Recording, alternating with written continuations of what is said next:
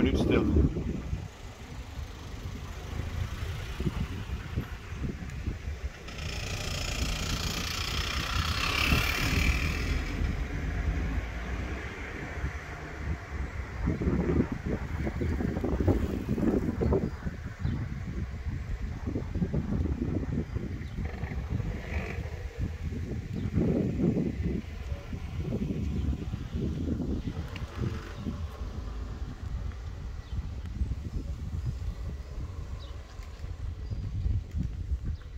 Bedank iedereen voor de aandacht.